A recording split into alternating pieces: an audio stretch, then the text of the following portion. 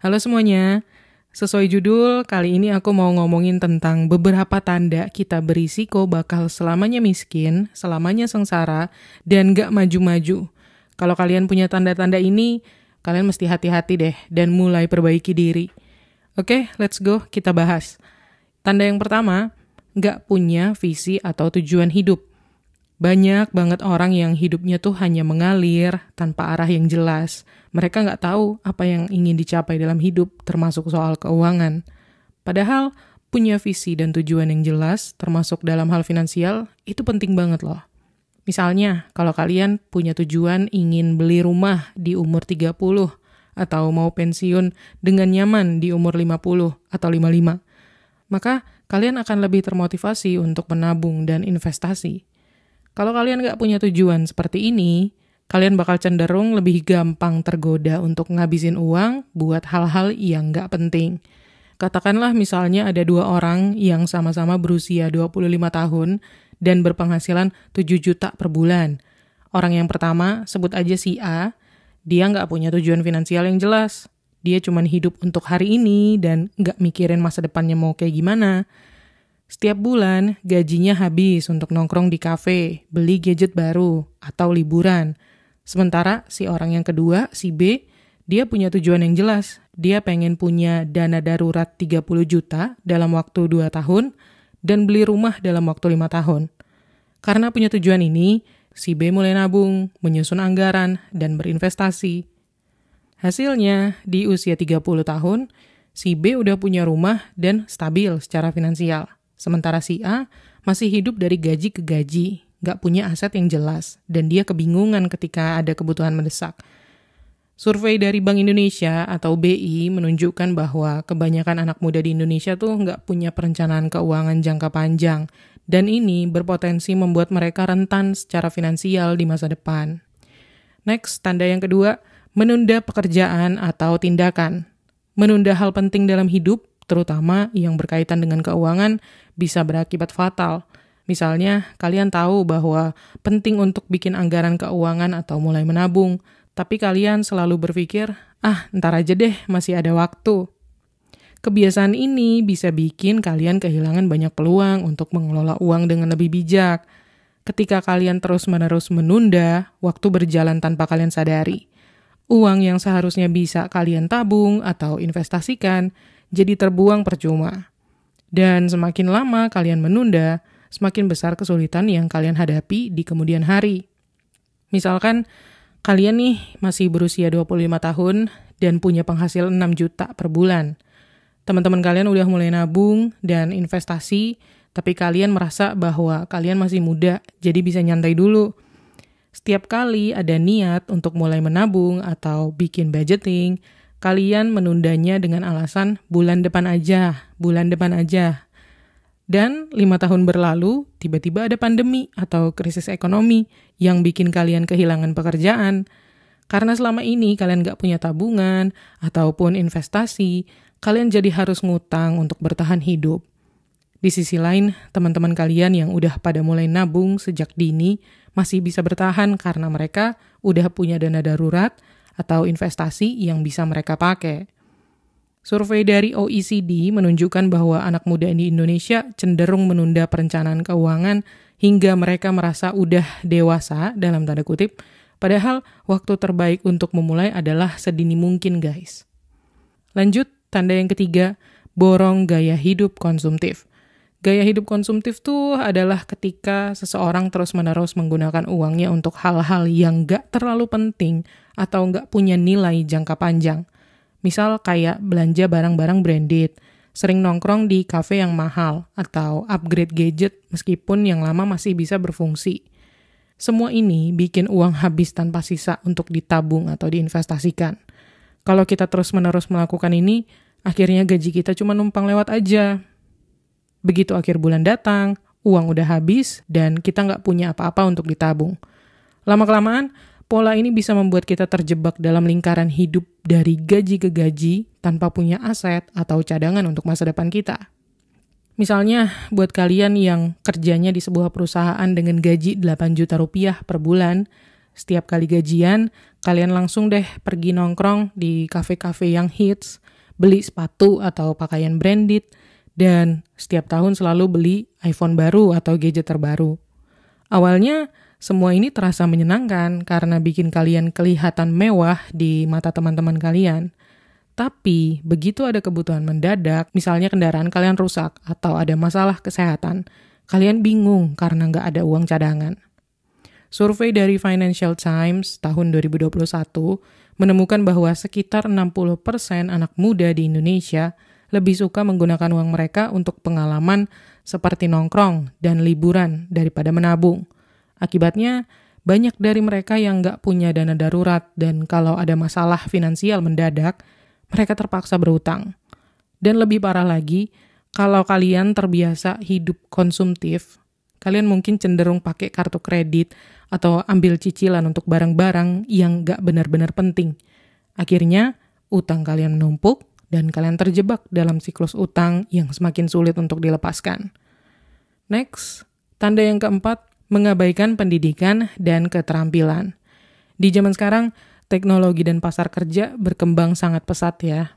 Kalau kita nggak mau mengembangkan keterampilan baru atau memperbarui pengetahuan kita, kita pasti bakal ketinggalan. Banyak orang berpikir bahwa setelah lulus kuliah, mereka cukup kerja dengan keterampilan yang mereka punya. Padahal dunia kerja terus berubah dan keterampilan yang relevan saat ini bisa jadi nggak relevan lagi dalam beberapa tahun ke depan.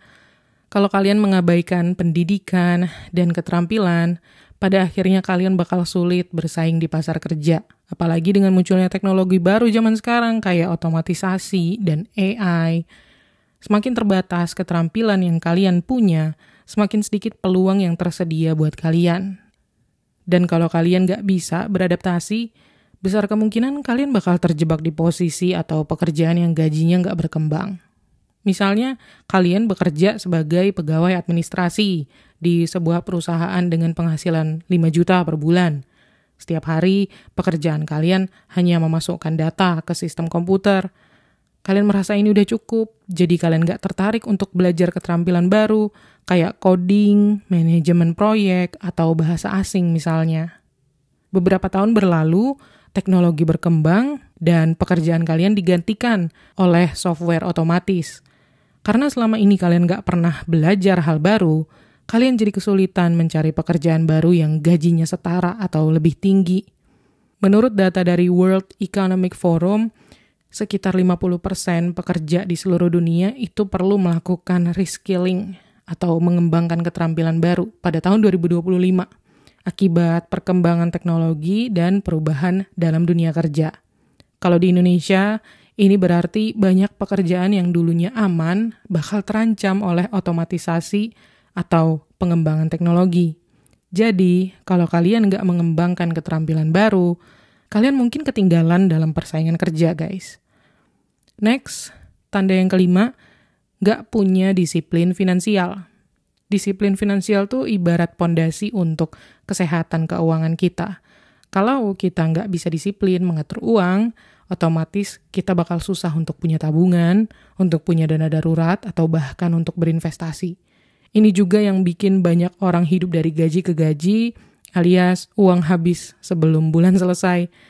Tanpa disiplin, kita bakal cenderung belanja impulsif atau boros untuk hal-hal yang gak penting. Misalnya, buat kalian nih yang gak punya dana darurat, dana darurat itu penting banget loh buat jaga-jaga kalau tiba-tiba kalian kena musibah atau ada pengeluaran gak terduga, pengeluaran yang di luar prediksi, yang mendadak. Biasanya, Orang-orang yang hidup tanpa disiplin keuangan gak mikir jauh sampai situ. Kalian merasa aman-aman aja selama masih bisa gajian setiap bulan. Padahal, kalau kalian gak punya dana darurat, begitu kalian kena PHK, atau sakit, atau ada kejadian mendadak lainnya, kalian bakal langsung kelimpungan. Anggaplah kalian baru bekerja dengan gaji 6 juta per bulan. Setiap bulan kalian habisin uang itu untuk nongkrong, untuk beli pakaian baru, atau ikutan tren gadget terbaru. Gak terasa, uang kalian itu habis sebelum sempat ditabung, apalagi buat ditabung ke dana darurat. Suatu hari, kalian tiba-tiba jatuh sakit dan butuh biaya rumah sakit 2 juta gitu ya, katakanlah misalnya. Nah, karena nggak ada tabungan, kalian terpaksa ngutang ke temen atau ke keluarga, atau pakai kartu kredit atau pinjol yang bunganya tinggi. Data dari Bank Indonesia menunjukkan bahwa sekitar 70% orang Indonesia tuh nggak punya dana darurat. Artinya, mayoritas dari kita nggak siap menghadapi situasi darurat yang sering kali berujung pada masalah keuangan yang lebih besar, seperti utang yang menumpuk. Selama pandemi COVID-19, banyak pekerja yang kehilangan pekerjaan tanpa ada persiapan finansial. Mereka yang sebelumnya hidup dari gaji ke gaji langsung kesulitan bertahan hidup. Orang-orang yang nggak punya dana darurat akhirnya terpaksa ngejual aset atau bahkan sampai ngutang hanya untuk menutupi kebutuhan dasar. Next, tanda yang keenam, bergantung pada orang lain kebiasaan bergantung pada orang lain, baik itu keluarga atau pasangan atau teman, untuk urusan finansial bisa membuat kita malas untuk belajar mandiri dan mengelola keuangan dengan bijak. Ketika kita selalu merasa ada safety net atau penolong, kita cenderung nggak mempersiapkan diri dengan baik. Kita jadi nggak termotivasi untuk bekerja lebih keras, untuk menabung atau berinvestasi, karena kita merasa selalu bisa mengandalkan orang lain. Misalnya, kalian terbiasa minta uang tambahan ke orang tua setiap kali uang bulanan kalian habis. Ketika ada pengeluaran mendadak, kalian gak pernah mikirin untuk menyisihkan uang dari awal bulan karena tahu orang tua kalian bakal selalu ngebantu. Lama-kelamaan, kalian jadi terbiasa hidup tanpa rasa tanggung jawab penuh terhadap keuangan kalian sendiri. Ini yang banyak dialami oleh anak-anak muda di Indonesia ya, yang masih tinggal sama orang tua dan mengandalkan orang tuanya untuk kebutuhan sehari-hari, bahkan setelah mulai bekerja. Menurut survei dari Badan Pusat Statistik atau BPS, sekitar 20% anak muda di Indonesia masih tinggal dengan orang tua hingga usia 30 tahun. Ini menunjukkan bahwa ketergantungan finansial sering kali terjadi yang pada akhirnya membuat seseorang kesulitan untuk mandiri dan mengelola uang dengan bijak. Menurut sebuah studi dari OECD, sekitar 50% generasi muda di Indonesia masih mengandalkan bantuan finansial dari keluarga, bahkan setelah mereka bekerja. Ketergantungan ini bisa menghambat perkembangan finansial karena orang yang selalu dibantu jadi kurang memiliki motivasi untuk menyusun rencana keuangan sendiri. Lanjut, tanda yang ketujuh yaitu terlalu takut mengambil risiko. Banyak orang, termasuk anak muda, sering kali terlalu takut untuk ambil risiko dalam hal finansial. Contoh paling umum adalah takut untuk mulai investasi. Banyak dari kita yang khawatir uang kita bakal hilang, atau kita nggak punya pengetahuan yang cukup. Akhirnya, kita lebih memilih cara yang aman, misalnya cuma nabung di bank tanpa opsi lain yang bisa bikin uang kita berkembang lebih cepat, kayak investasi saham, reksadana, atau emas. Padahal kalau kita cuma menabung, uang kita bakal kalah sama inflasi. Bayangin uang 10 juta yang kalian tabung 5 tahun lalu sekarang nilainya jauh lebih kecil karena harga barang-barang terus naik. Kalau kalian gak berani ambil risiko, kalian bakal ketinggalan secara finansial. Misalkan kalian punya 1 juta yang udah kalian tabung selama setahun teman-teman kalian mulai investasi di reksadana atau di saham, tapi kalian takut karena nggak mau uang kalian hilang. Kalian mikirnya, mending yang aman-aman aja deh, nabung di bank yang pasti-pasti aja. Akhirnya, lima tahun berlalu, uang yang kalian simpan masih tetap satu juta, tapi teman-teman kalian yang investasi bisa menghasilkan uang tambahan karena nilai investasi mereka naik seiring waktu. Menurut survei dari Otoritas Jasa Keuangan atau OJK, tingkat literasi keuangan di Indonesia di tahun 2021 hanya sekitar 38 persen. Artinya, banyak dari kita yang masih ragu untuk ambil keputusan finansial yang lebih berani, kayak investasi, karena kita takut atau merasa kurang informasi. Padahal data dari IDX atau Bursa Efek Indonesia menunjukkan bahwa return investasi saham dalam 10 tahun terakhir bisa mencapai rata-rata 10 sampai 12% persen per tahun. Jauh lebih besar dibandingkan hanya menabung di bank. Jadi, terlalu takut untuk mengambil risiko malah membuat kita kehilangan peluang untuk uang kita bisa berkembang. Risiko itu penting, tapi yang lebih penting adalah paham cara mengelola risikonya. Misalnya dengan belajar investasi secara bertahap atau mulai dari instrumen yang lebih aman seperti reksadana pasar uang. Lanjut, tanda yang ke-8, tidak peduli dengan kesehatan. Banyak orang, apalagi anak muda yang merasa bahwa mereka masih sehat, masih kuat, dan gak butuh asuransi kesehatan. Mereka mikirnya, ah aku masih muda kok, jarang sakit, asuransi itu buat orang tua aja. Tapi kenyataannya, siapa pun bisa sakit kapan aja. Sakit itu gak kenal usia, gak kenal waktu.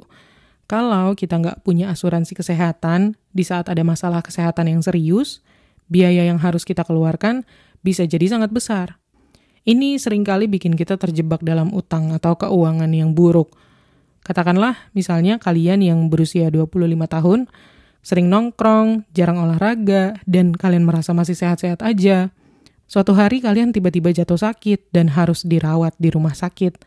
Tagihan rumah sakitnya mencapai 10 juta, misalnya gitu ya. Karena kalian nggak punya asuransi kesehatan dan nggak ada dana darurat, kalian terpaksa deh ngutang ke teman atau pakai kartu kredit atau bahkan pakai pinjol untuk bayar tagihan tersebut. Akhirnya, kalian jadi stres sendiri karena harus mikirin cara bayar utang gimana, padahal ini bisa dihindari kalau kalian punya asuransi kesehatan dari awal. Menurut data dari BPJS Kesehatan, sekitar 38% masyarakat Indonesia masih belum terlindungi oleh asuransi kesehatan, baik BPJS maupun swasta. Padahal biaya kesehatan terus naik setiap tahun. Misalnya biaya rawat inap di rumah sakit bisa mencapai 500 ribu sampai 1 juta per malam. Kalau kita nggak siap dengan asuransi, biaya kesehatan ini bisa menghancurkan keuangan kita dalam sekejap guys. Jadi asuransi kesehatan itu penting bukan cuma buat orang tua aja, tapi juga buat kalian yang masih muda. Karena dengan asuransi, kita bisa terlindungi dari pengeluaran besar yang nggak terduga dan bisa fokus menyisihkan uang untuk hal-hal lain seperti investasi atau tujuan jangka panjang lainnya. Next, tanda ke-9, tidak membuat anggaran atau rencana keuangan. Banyak dari kita yang masih berpikiran bahwa bikin anggaran atau rencana keuangan itu ribet atau nggak penting. Kita merasa udah cukup tahu kira-kira berapa uang yang bisa kita pakai setiap bulan, tapi kenyataannya, tanpa anggaran yang jelas, kita nggak akan tahu ke mana perginya uang kita. Ini salah satu penyebab kenapa ada banyak orang yang kesulitan menabung dan nggak punya investasi. Karena kita nggak pernah benar-benar tahu seberapa besar pengeluaran dan berapa yang bisa kita sisihkan. Misalnya, kalian baru mulai kerja nih dan punya gaji 6 juta rupiah per bulan. Tanpa anggaran, setiap bulan kalian belanja keperluan harian, nongkrong, atau beli barang yang kalian suka, lalu tiba-tiba uang kalian habis sebelum tanggal gajian berikutnya. Ayo, siapa yang masih ngalamin hal ini? Kalian merasa bahwa menabung itu nanti aja setelah semua kebutuhan terpenuhi. Tapi karena nggak pernah bikin rencana, uang kalian selalu habis dan nggak ada yang tersisa untuk bisa ditabung atau diinvestasikan. Data dari Financial Planning Association atau FPA menunjukkan bahwa orang yang punya rencana keuangan cenderung lebih aman secara finansial dibanding mereka yang nggak punya. Sebuah survei dari BPS juga menunjukkan bahwa hanya satu dari 10 orang yang benar-benar punya rencana keuangan. Akibatnya apa? Banyak dari kita yang kesulitan menghadapi kondisi keuangan darurat, apalagi untuk menyiapkan investasi jangka panjang. Jadi ya, membuat anggaran itu penting, dengan anggaran, kita bisa tahu ke mana uang kita pergi dan seberapa banyak yang bisa kita sisihkan atau kita simpan. Mulailah dengan membagi pengeluaran berdasarkan kebutuhan, tabungan, dan investasi.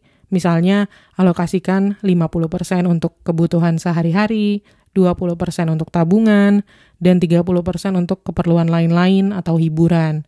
Dengan cara ini, kalian bisa mulai punya kontrol lebih baik atas keuangan kalian. Next, tanda yang ke-10, hidup di luar kemampuan. Ini adalah salah satu kesalahan terbesar yang membuat banyak dari kita terjebak dalam hidup dari gaji ke gaji. Kita selalu beli barang atau punya gaya hidup yang sebenarnya di luar kemampuan finansial kita hanya untuk terlihat mampu di depan orang lain. Misalnya beli gadget yang mahal, pakai pakaian branded, atau sering nongkrong di kafe mahal meskipun penghasilan pas-pasan. Akibatnya, banyak dari kita yang berutang atau bahkan menghabiskan seluruh gaji tanpa ada sisa untuk ditabung. Misalnya, kalian punya gaji 7 juta per bulan, tapi kalian pengen selalu up to date dengan tren. Beli iPhone terbaru lah, sepatu branded lah, dan selalu hangout di tempat-tempat yang hits lah.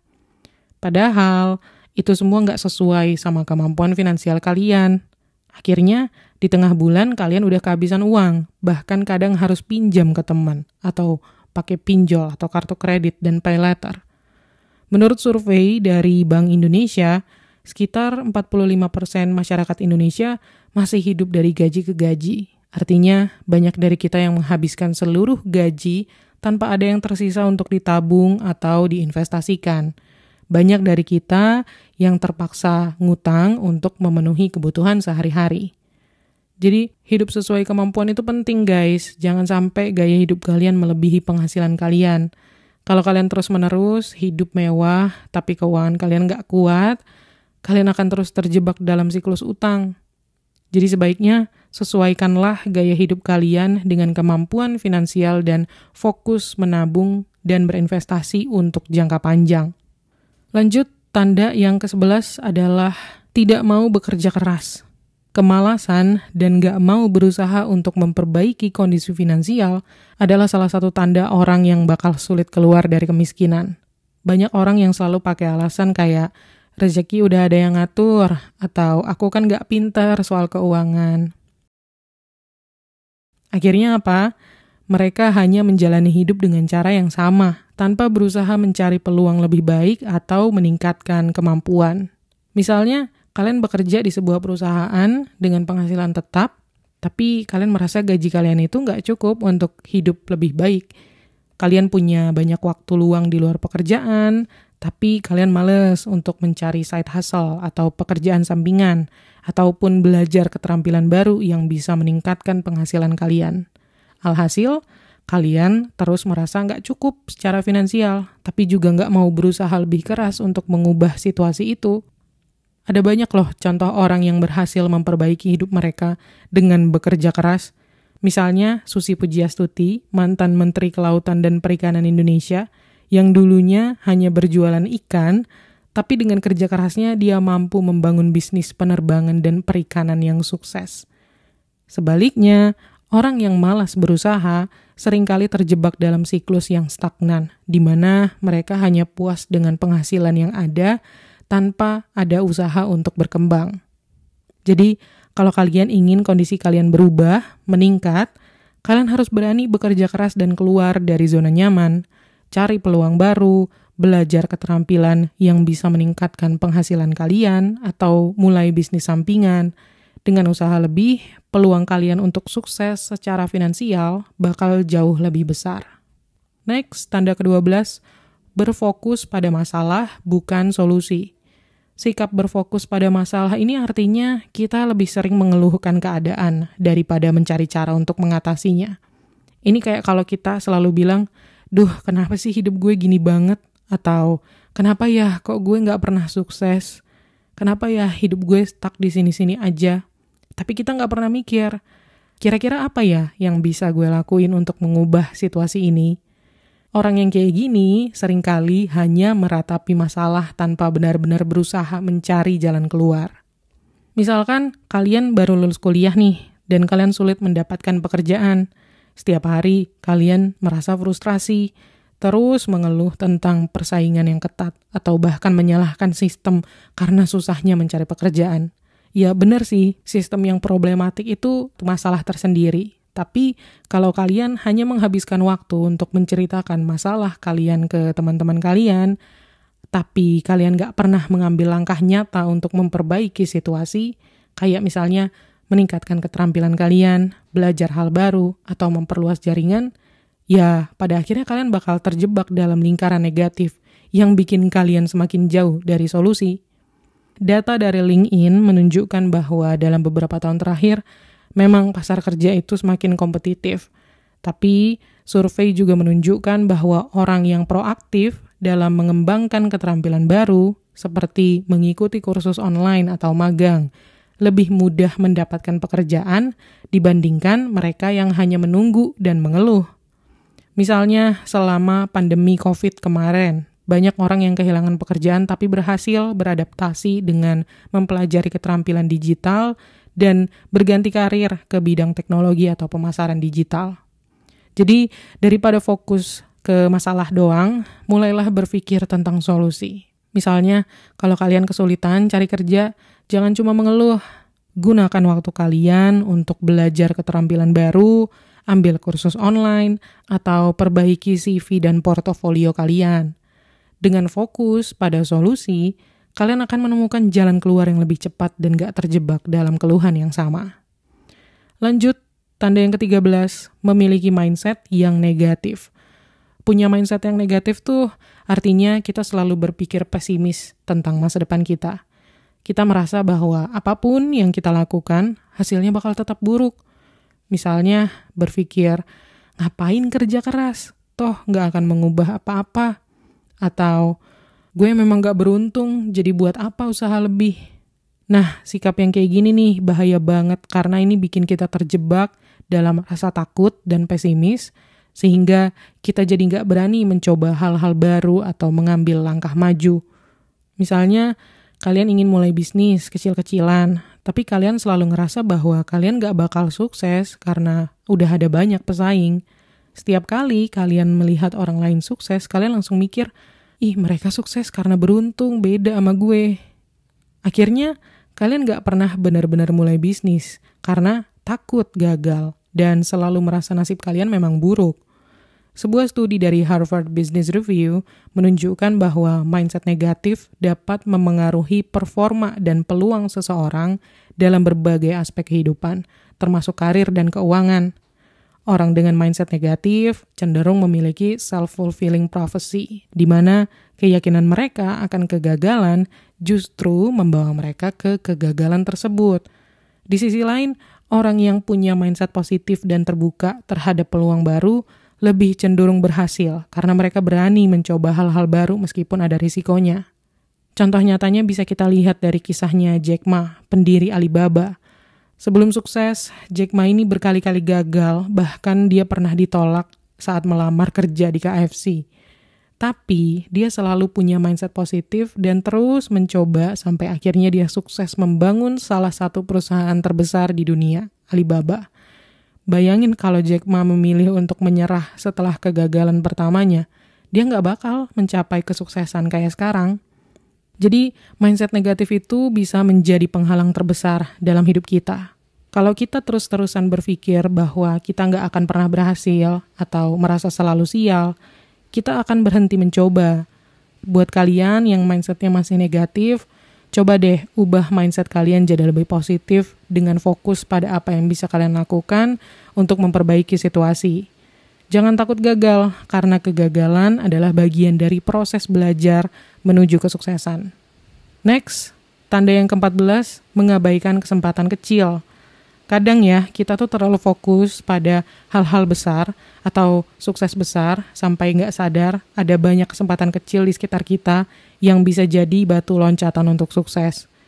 Orang yang selalu berpikir, ah ini peluang terlalu kecil, nggak ada gunanya. Seringkali kehilangan kesempatan yang mungkin justru bisa membuka pintu besar. Kesempatan kecil, kalau dimanfaatkan dengan baik, bisa tumbuh jadi sesuatu yang lebih besar di kemudian hari.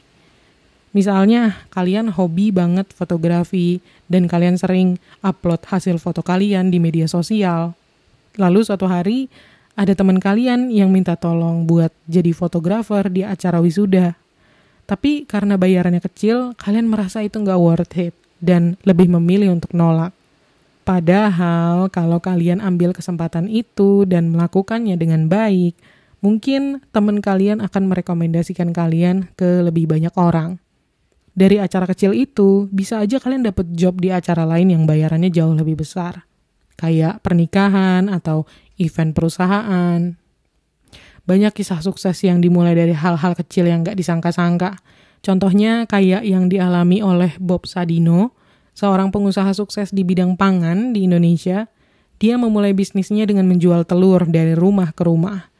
Awalnya mungkin terdengar remeh ya, Tapi dari situ, Bob Sadino berhasil membangun kerajaan bisnis besar yang melibatkan supermarket dan restoran. Kalau dia mengabaikan peluang kecil untuk mulai berjualan telur, dia mungkin gak akan jadi salah satu pengusaha besar di Indonesia. Menurut Global Entrepreneurship Monitor atau GEM, banyak wirausahawan sukses yang memulai karir mereka dari bisnis kecil atau proyek sederhana. Sekitar 62% pengusaha yang berhasil mengaku bahwa mereka memulai dari usaha skala kecil yang bertahap berkembang. Ini membuktikan bahwa kesempatan kecil bisa menjadi pondasi untuk kesuksesan yang lebih besar. Next, tanda yang ke-15, tidak belajar dari kegagalan. Kegagalan adalah bagian dari perjalanan menuju kesuksesan. Tapi, kalau kita gagal dan gak pernah belajar dari kegagalan itu, kita akan terus mengulang kesalahan yang sama dan terjebak di tempat yang sama. Orang yang sukses adalah mereka yang bisa mengambil pelajaran dari setiap kegagalan dan menggunakan pengalaman tersebut untuk tumbuh dan memperbaiki diri. Misalnya, kalian mencoba berbisnis online tapi gagal karena kurang memperhatikan pelayanan pelanggan. Setiap kali ada keluhan, kalian lambat merespons atau kurang ramah. Akhirnya, banyak pelanggan yang kecewa dan bisnis kalian pun tutup. Setelah itu, kalian memutuskan untuk mencoba bisnis baru, tapi lagi-lagi melakukan kesalahan yang sama. Kalian gak belajar dari kegagalan sebelumnya, gak memperbaiki sistem pelayanan, dan akhirnya bisnis kedua pun gagal lagi. Salah satu contoh nyata dari kegagalan yang berhasil diubah menjadi kesuksesan adalah kisahnya Colonel Sanders, pendiri KFC. Kalian pernah denger nggak? Jadi sebelum dia berhasil dengan KFC, Sanders ini mengalami banyak kegagalan. Dia mencoba berbagai pekerjaan dan bisnis yang gak berjalan mulus. Resep ayam gorengnya ditolak oleh lebih dari seribu restoran sebelum akhirnya ada yang menerima dan sukses. Kalau Sanders menyerah setelah kegagalannya yang pertama, mungkin kita nggak akan mengenal KFC seperti sekarang. Yang membedakan dia adalah kemampuannya untuk belajar dari kegagalan dan terus mencoba. Menurut survei dari Harvard Business Review, wirausahawan yang mengalami kegagalan bisnis dan kemudian memulai usaha baru memiliki peluang 20% lebih tinggi untuk berhasil dalam bisnis kedua dibanding mereka yang belum pernah mengalami kegagalan. Ini menunjukkan bahwa kegagalan bisa menjadi pembelajaran yang berharga kalau kita mau menganalisis apa yang salah dan memperbaikinya di masa depan. Jadi, jangan takut untuk gagal, karena semakin cepat kalian belajar dari kegagalan, semakin cepat juga kalian bisa mencapai kesuksesan, guys. Oke, semoga bermanfaat, dan as always, terima kasih udah nonton. Klik tombol like dan subscribe kalau kalian suka video ini. Dan sampai ketemu lagi di tips menuju kekayaan berikutnya.